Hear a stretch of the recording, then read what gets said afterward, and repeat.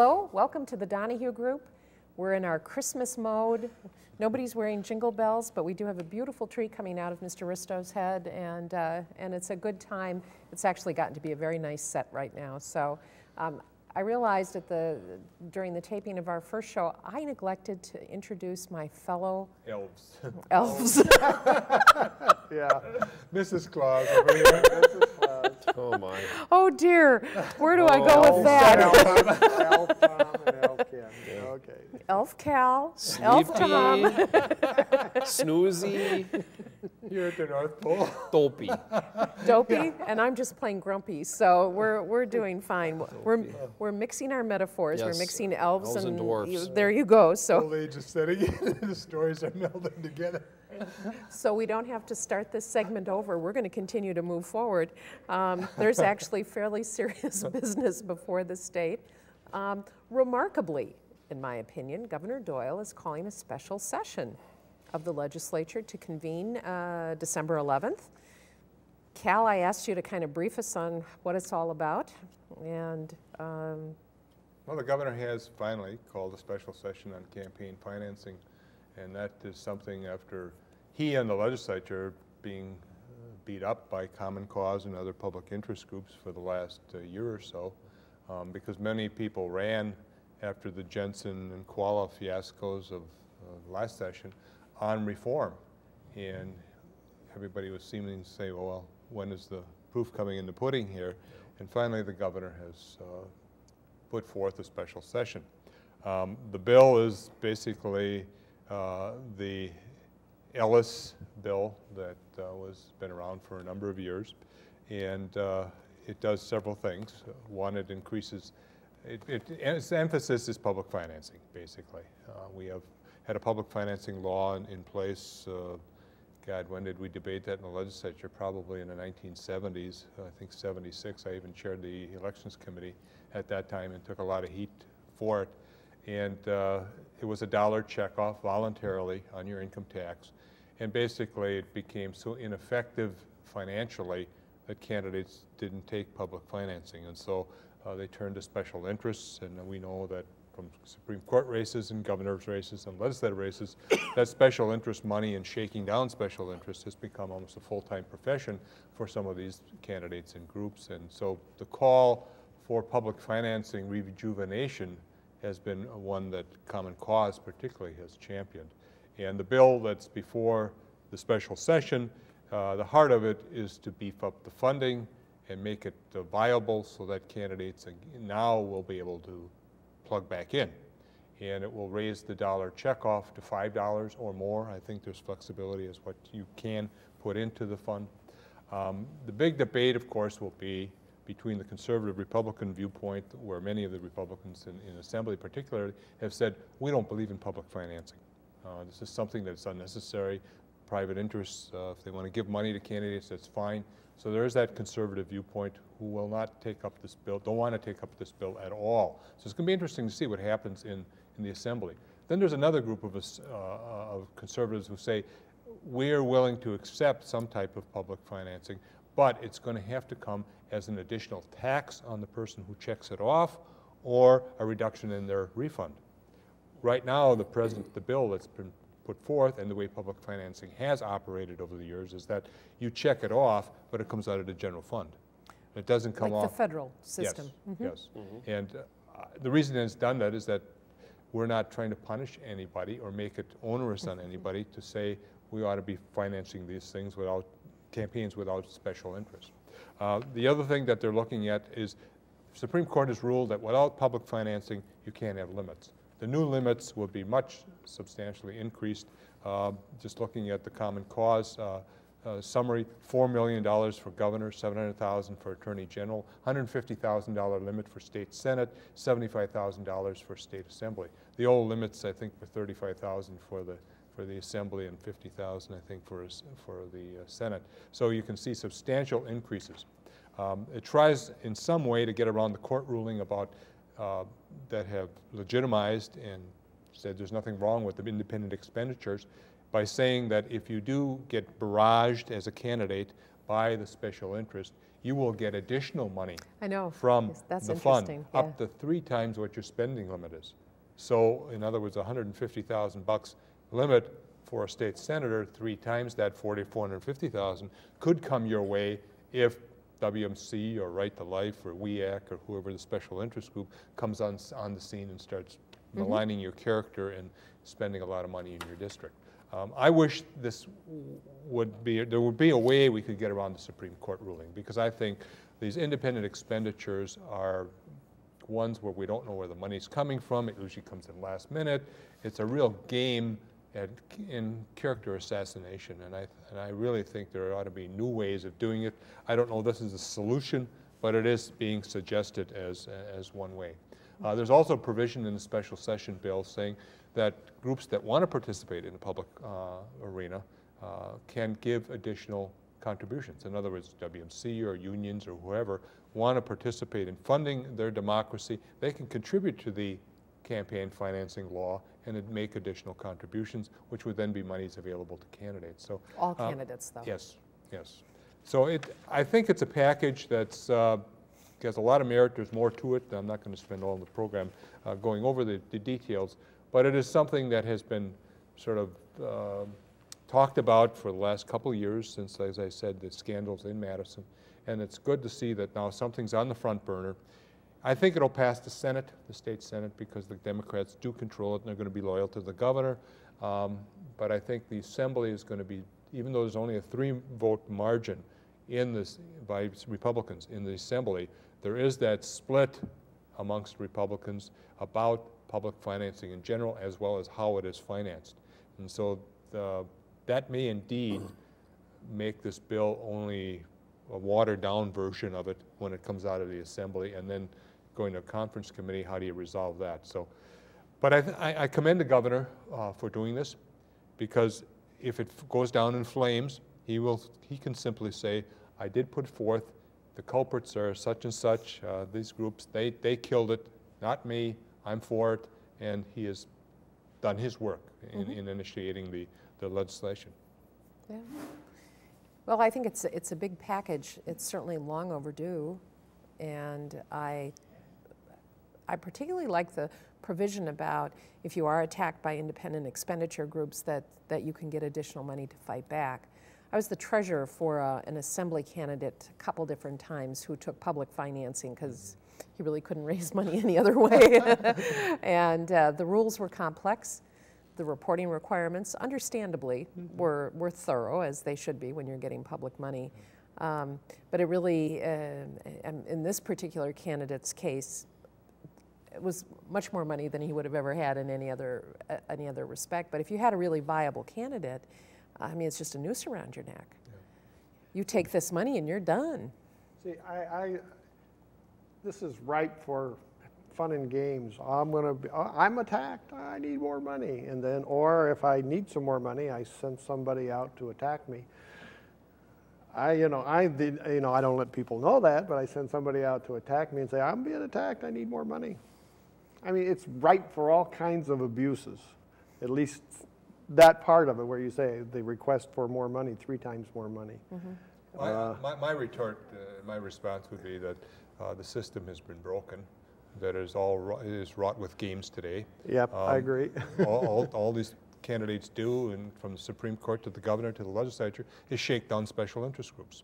And one of the provisions in the bill is at least there's no fundraising during the budget, which is the ultimate shakedown, Yeah. because that is a, a Oh, big. I did you know, not know that. Yes. Well, now that's an important piece. Yeah, Yes, it that's is. an important piece. I'd agree with that. It sounds like that it will be eventually compromised. I mean, do you think any action will happen at all?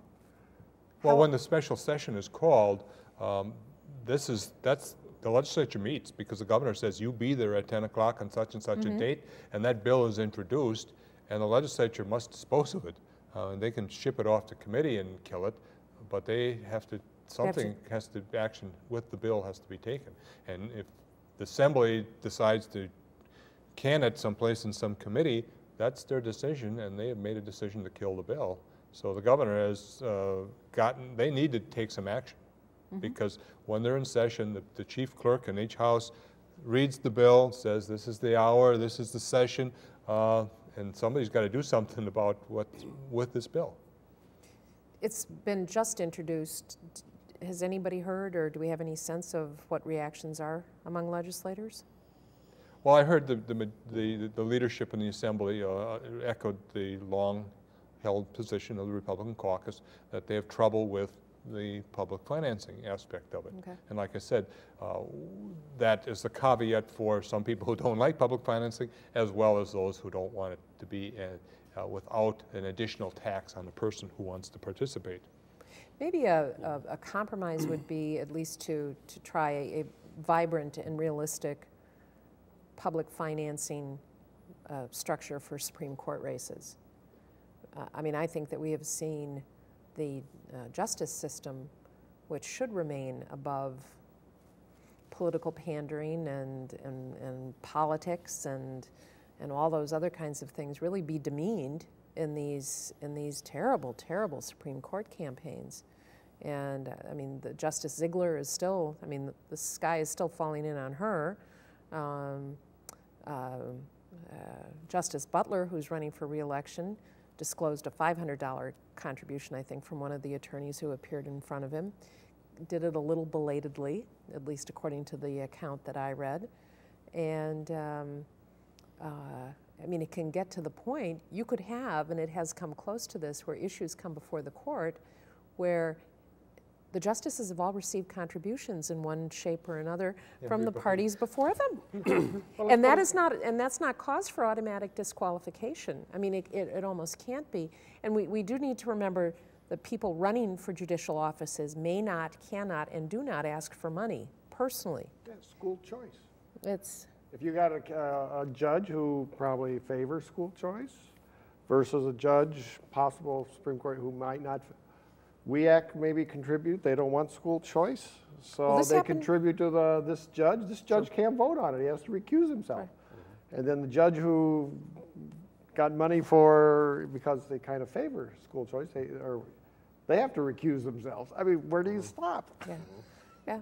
Well, and where you stop is you say, at least in this particular part of the political spectrum, we can afford to have public financing, we can afford to have campaign limits, and we can afford to keep this system as pure as possible um, and out of the really nasty political arena. I mean, there, there just don't seem to be the limits that there used to be, and, and that is carrying over into these judicial races. The race between Chief Justice Abrahamson and Sharren Rose, you may not remember, I sure do. It was real, real, real unpleasant. Um, the, the race between Clifford and, and, um, and Ziegler was very, very unpleasant. Um, and I'm trying to think, um, there have been a couple in between. Justice Wilcox got a huge amount of improper support from charter school organizations outside the state. And I'm sure he did not have any personal knowledge of, of these various violations and so forth, but that was very tough for him and tough for the court. This has got to stop. And even if it's in a compromised position where you don't have this kind of thing going, uh, where, where you at least would have some sort of, of rules and financing, just, just, and just Supreme Court races. Yeah, I'm, not asking for the sun, the moon, and the stars, just a Supreme Court race. I don't know. To me, it makes sense. Um, I think it's going to be um, in the, the law that, this proposal that Cal's talking about. If people don't check off uh, the $1, $2, $5, and, and as I understand it, maybe I read it wrong in the summary too, Cal, people actually have an opportunity to, to check off on a partisan basis. Is that? In other words, I can put $5 to the Democratic side or $5 to the Republican side. But that, the point being is that if we don't, if, if people don't do that, and I know we didn't get, we don't have time here to go into this public integrity endowment, which is a way for people, organizations, as you were talking about, to put more money into the pot. If that money isn't sufficient to fund this, then it is going to come out of general revenues. And I think that's what's going to be difficult for Joe Blow to get their head around, I think, is that for the first time, tax dollars are going to be financing private politicians. And that's something we're not used to. And it's going to take, When the monies were insufficient, Yeah. the candidates were prorated. right. right. I mean, the pot just got, Yep. My hapless candidate. I guess got my- a little tiny amount of money. He was supposed to get 37,000 and I think he got 17. I- I think that's going to be a all those real mental obstacle for lots of folks is to really understand that uh, if, uh, you know, you, if you're unhappy with the current arrangement, and it seems like large people, people are in the general sense that they don't feel politicians are being uh, responsive to them and their needs and, and in their lives and connecting with average folks, whatever that might mean. Um, then the end of the bridge will cross that river to accepting the fact that my hard-earned tax dollars are going to be, part of them anyway, are going to be going not only to universities and schools and bridges and highways, but to pay for elections. That's going to be a, a travel for a lot of folks, I think, a real journey for them. And I, I, that's why I think ultimately there'll be a discussion and a debate, but I don't know how far or how much this bill is going to be passed. Uh, but I, I do think the proper beginning is to at least say that, at least for judges' elections, because even if there is an impropriety, even if judges don't really vote or decide cases based upon their campaign contributions, a lot of people think they are. And I think there is a certain double standard when you start looking at the way, because Ziegler's been down this road, I think the bar for her has been laid up a little higher than, say, Justice Wilcox, who nobody really much, there wasn't much yelling and complaining about Wilcox. And then you got all these kind of questions about when do you recuse yourself and when don't you recuse yourself. Um, and I think that's really very, very tough. And so you get all sorts of bizarre sorts of standards, and it's it's going to cause real trouble. It's going to it's going to make the court look like the legislature, or the governor, for that matter. And we don't want that to happen. No. At least not with our legal system, which is uh, a pretty swell system. Justice Ziegler is now disclosing all campaign contributions. I think that's an excellent step. Yep. Not that those things are not accessible, but to take the step of, of, of actually letting the public know in a proactive way who you're getting your money from is um, one, I think was a smart PR step for her, but two, just I, I, from an ethical perspective, I think it's I think it's an excellent idea, and I give her credit for trying to salvage something out of this this very difficult time for her. And didn't we? I think we talked in one show that she's going to work she had to contribute so much money to her own campaign that essentially she will work six out of 10 years just to come even to the, the, the job won't start paying until she's well into the second half of her term. So hmm, things got to change as far as I'm concerned. Uh, it'll be interesting. Well, you never get your money back from the presidency, so. there you go. Well, what some candidates have done, though, is, is they give the money to their campaign, but it's an understanding it's a loan. Right. And then they, through the budget years and whatever, they shake down all these special interest groups to raise their sixty thousand and whatever they lent the campaign, and the check is written back to them to reimburse them for it. Which is something that smells too. Yeah. Although I think candidates who make loans always do hope that, that one way or another that they'll get get repaid. But uh, in any event, um, we are now at the juncture where the cable bill, the infamous cable bill, has been passed in both houses of the legislature, soon to be signed by the governor. We're going to have a really nice farewell show here. Shall we be as, as the, the, the young folks on the Titanic and stand on the, on the uh, bow of the ship as it slowly sinks down? I don't know if that will necessarily happen, but uh, that's been a very interesting process, kind of fast-tracked, and uh, it'll, it'll remain to be seen how, how all of this plays out. And Well, I think it was a good victory for the proponents of the, of the bill, which uh, were companies that are not the cable franchised uh, people in place now. They're the AT&Ts of the world who want to enter the arena. Uh, there were substantial contributions made, and I think they bought goodwill in the legislature, and the bill passed. I think from people I have talked to, with fewer amendments than they thought would occur. Um, And as, as a result, uh, they were somewhat surprised at the fact that the legislature amended the bill so little, even after very heavily being lobbied by people who are, for example, in the community television area and uh, other people who had concerns about uh, the way the, way the, well, the way the existing operations are and whether they ought to be continued. I didn't get a sense that the local municipalities, the mayors and, and common councils across the state, um, you didn't hear their voice. Maybe it was there, maybe the lobbying was going on down uh, in Madison, because they stand to lose a, uh, a flow of money uh, that budgets, their budgets rely on. So I would think that mayors and common, common councils across the, the state would have really been a much more vocal, much more visible um, uh, discussant in this, in, in this debate. I, I was really surprised about that. And I don't think most people understand that. Yeah, I may save a couple of bucks here in my, my cable bill or whatever it might be, uh, but what's going to happen to my property taxes when those funds now flow someplace other than to the local communities as they negotiate the local contracts with whoever's going to be providing their services? For example, the money that comes to the city of Sheboygan is about $400,000, as I understand Yeah. it, from cable fees, about a third of which comes to produce this show and the many other fine shows that are uh, on, uh, on TV8 um, and other, on other cable stations. Um, so 200 some thousand dollars will be lost to, to the city in terms of revenues, depending on how all of this flows. And uh, so that, uh, that will be interesting. I did check the Wisconsin Democracy Campaign's website because they have fully, they have all the financial records on, online sorted by industry.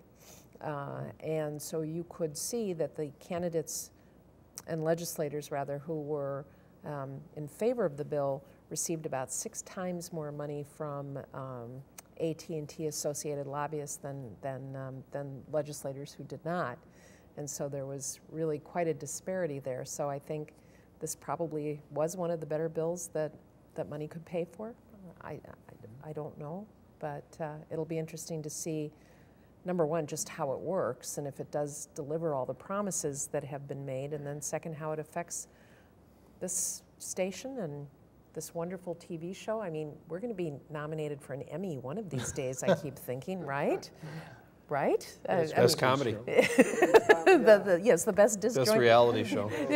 best disjointed reality comedy show on the, uh, in the universe. But uh, in any event, Well, it um, really will be interesting to see what will happen because I think a lot of people do um, watch at least some of the time shows like this, or they watch their local school boards, or they watch their local common councils and their uh, county board meetings, and they get at least a general sense of what is going on. And when that, if it, if this plays out, where cable companies can provide services without having to worry about these types of things, it'll be interesting to see how well involved and informed people are going to be about local government, and even for that matter, state government, because there's some, been some discussion about putting with state government on on uh, local access cable channels also, so people can see um, the Senate and Assembly uh, at work, just like we watch C-SPAN on our national channels. and that's terribly exciting. Well, It can be, particularly when we're making speeches and we know the camera is on us. Um, uh, uh, Scott Jensen, uh, the DA in uh, Dane County, has picked himself up, brushed himself off, and he's going to start all over again. Uh, he says with a new trial for, for Mr. Jensen. Uh, uh, it is my understanding that the um, Attorney General decided not to Appeal. appeal that. Uh, and um, it will be interesting to see how that to see how that plays out. I wonder if Chuck Chvala is saying, "Gee, maybe I should have been a, you know, played Yeah. it a little bit more." I don't know. I mean, there is talk now that rather than going through a trial that could be much longer, because that judge at that time, anytime Jensen's uh, defense and Jensen himself would say, well, everybody's doing it, I would like to bring in people who also have done this to show that I was not the only perpetrator here. Uh, The judge says that's not relevant, uh, shut them up, you know, and sort of maybe compress the trial. If they can bring in, you know, truckloads of people who said, yeah, I did the same thing. I shook down people. I did it on state time and I used state phones and all those type of things. Is this going to be a long trial? And now is the DA going to say, you know, I got I got to run a, I got the Dane County DA's office.